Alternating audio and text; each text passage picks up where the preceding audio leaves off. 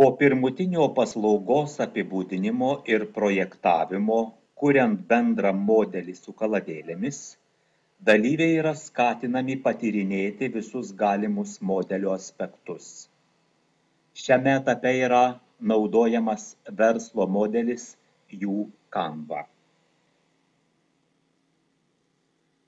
Verslo modelio canva yra licencijuota prieinamos versijos įvairiomis kalbomis.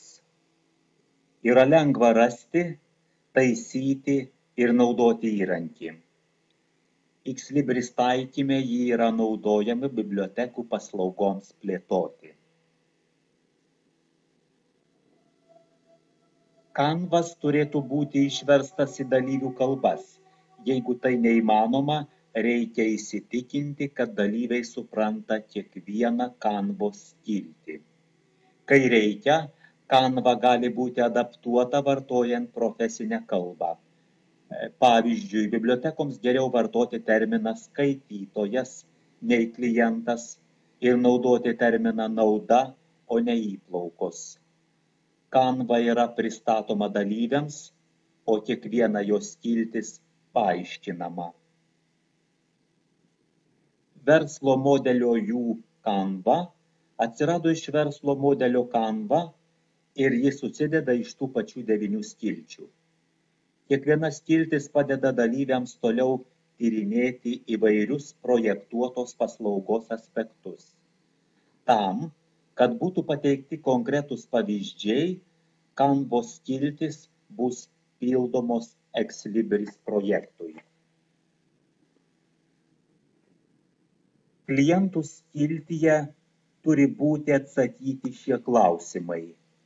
Kas yra tikslinė vartotojų grupė? Kam jūs kūrėte šią paslaugą? Kitaip, kam kūrėte šią vertę? Kas yra svarbiausia jūsų vartotojų grupė? Ar paslaugos tikslas svarbiausias tiksliniai grupiai? Xlibris pavyzdžių pagrindinės tikslinės grupės yra bibliotekų skaitytojai bibliotekininkai iš įvairių bibliotekų viešųjų mokyklų akademinių institucijų kiti informologijos darbuotojai bibliotekų ir informacinių technologijų mokslų studentai. Skiltis verslės vertės projektas apibūdina konkrečią naudą vartotojams kurie gaus iš šios paslaugos.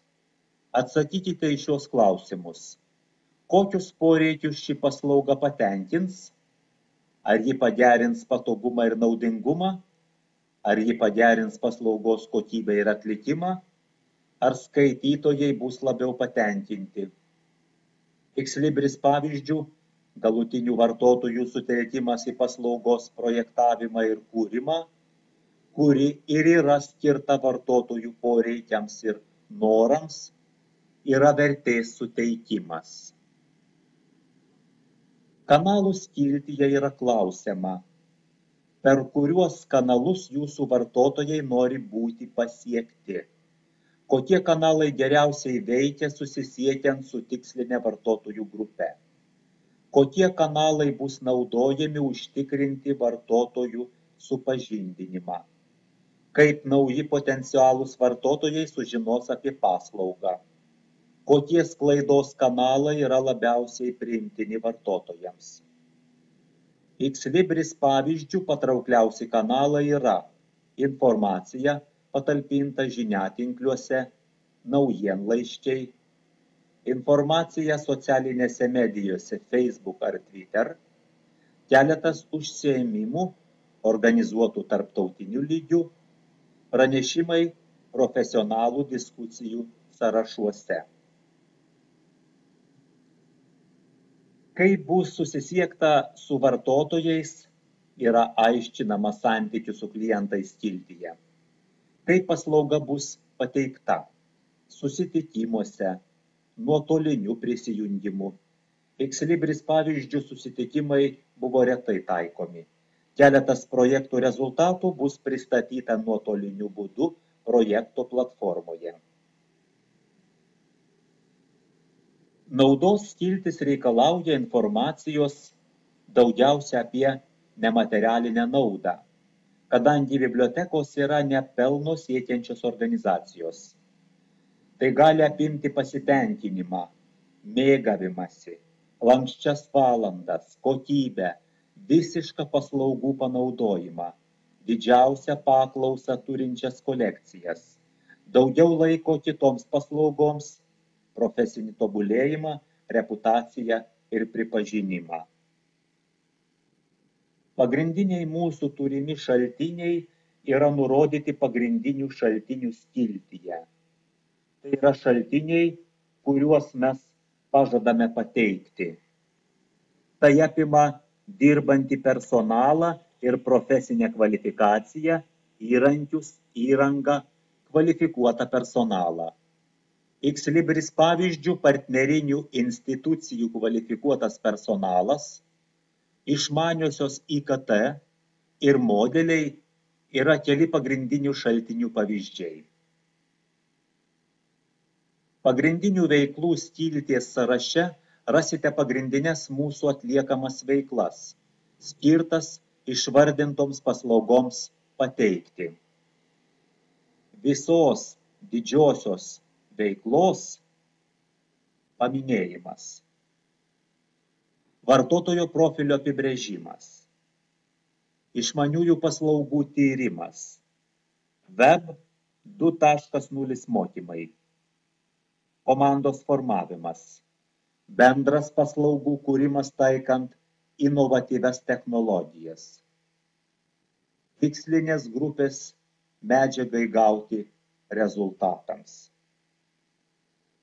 parengti naujų išmaniųjų paslaugų prototipus yra ekslibris atvejais. Pagrindinių partnerių skiltyje išvardinti padėsiantieji sukurti paslaugą. Tai galėtų būti tiekėjai, akademinis personalas, kitos bibliotekos ir informacijos centrai, prekiautojai, profesinės asociacijos, kaip kokiu būdu kiekvienas partneris prisidės prie to. Vertės skiltyje yra aptariama, ką jūs duodate ir ko atsisakote. Didelis laiko panaudojimas, energija, stresas, žemas pripažinimas, lankstumo stoka.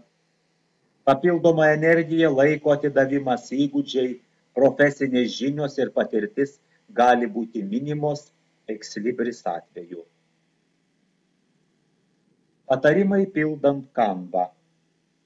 Kiekviena grupė turi užpildyti vieną kanvą savo bendram modeliui. Skirkite pakankamai laiko šiam pratimui, kad komandos nariai aptartų kiekvieną kanvos skiltį. Paimkite tinkamą kanvos dydį, bent A1 ar A0 kai reikalingas papildomas paaiškinimas apie kanvos skiltis padėkite. Paskatinkite dalyvius naudoti raktinius žodžius ant lipnių lapukų paskatinkite dalyvius rašyti didelėmis raidėmis kad būtų įskaitoma iš tolesnio atstumo. Duokite keturias penkias minutes pristatymui. Klausykite atidžiai ir reflektuokite. Kai reikia, pridėkite, nuimkite ar perdėkite lapuką, tačiau tik tuo atveju, jeigu su pakeitimais yra sutinkama ir tai yra suprantama komandos narių.